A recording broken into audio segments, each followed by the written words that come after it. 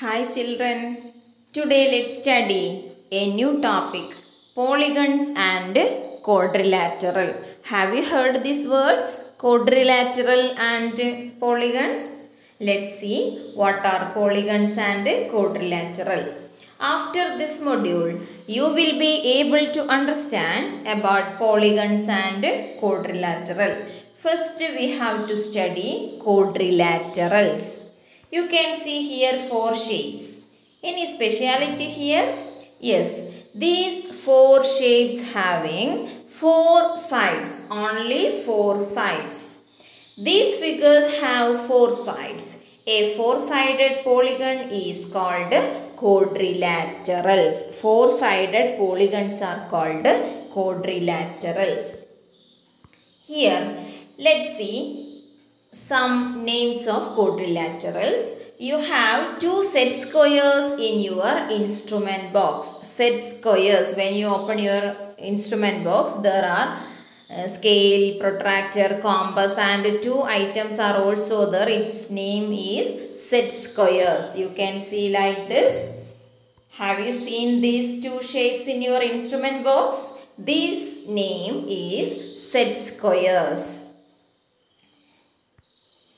Set square having 30 degree, 60 degree and 90 degree set square. Then the second one is 45 degree, 45 degree, 90 degree set squares. These are the two set squares in your instrument box. By using a pair of 30 degree, 60 degree, 90 degree set square that is we use two set square like this then we will get this shape. Do you know what is the shape? What is the name of this shape? Yes, you all of you know the name of this shape. Here the opposite sides are equal and opposite angles are also equal. The name is rectangle.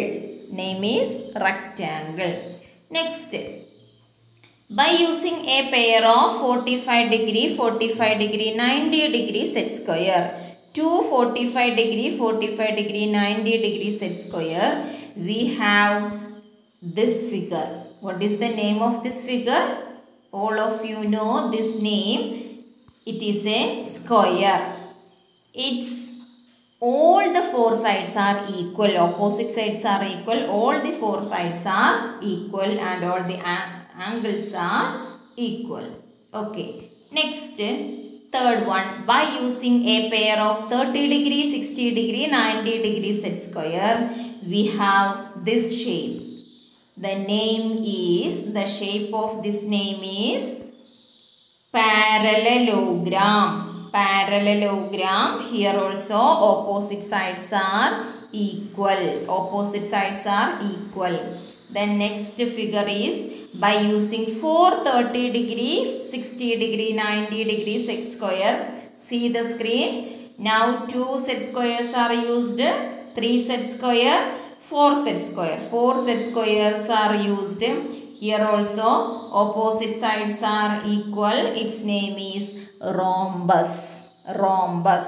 You listen very carefully the names. First one is rectangle, then square, Next one, third one is parallelogram and fourth one is rhombus and one more figure by using several set square. One, two, three. You can see this shape trapezium. Name is trapezium. We can see all the five figures having only four sides. So these are quadrilaterals square, rectangle, parallelogram, trapezium and rhombus having four sides. Therefore, these are quadrilaterals. Quadrilaterals. Next, we have to study polygons. Polygons. We already studied polygons. We know polygons are closed figures with entirely line segments. In polygon, we have to use only line segments, not curved shape, only line segments. Very important thing is, it is also closed figure, not open figure, closed figure. We have to classify the polygons according to the number of sides. Here you can see a table. Number of sides, name, illustration. Number of sides starting from 3 because one-sided is not a polygon, two-sided is not a polygon. So starting from 3, all of us know triangle having 3 sides. So triangle is a polygon. Then four-sided polygon. Four-sided polygon is called quadrilateral that we studied now.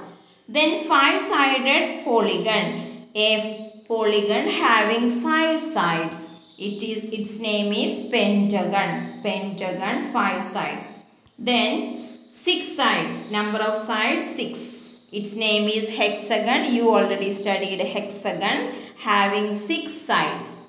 Then seven sides. Seven sided polygon is heptagon. You can count the number of sides of all the figures. Heptagon. Then eight sided figure is octagon. Octagon. Next nine side and ten side. Nine sided figure is, figure is nonagon and ten sided polygon is decagon. You study well the number of sides and its name. Okay, next one question is there. Examine whether the following are polygons. If any among anyone among them is not say why. That is the given some polygons are given. You identify if it is polygon. If it is not polygon, you write what is the reason. Okay. First question. A question. Is this a polygon? No. What is the reason? It is not a closed figure. So we can write no because it is not closed. So it is not a polygon. Then second figure. Is it closed? Yes. Is it within line segments? Yes. Therefore this is a polygon. Yes. This is a polygon. Then C question a circle. Is this a polygon? No. Why? There is no line segments. So answer is no. It is not with the line segment. Next D question. Is this figure D is a polygon? No. Why? It has only two line segments but the other side is not a line segment. Therefore it is not a polygon. It is not with the entirely line segment it is not with the completely line segments. So dear children, these are about polygons and quadrilaterals. You have one follow-up activity. All of us know what are even numbers. So the question is how many even numbers are there between 1 and 100 not including 1 and 100 between them. That is between 1 and 100 how many even numbers? Okay children that's all for today. Thank you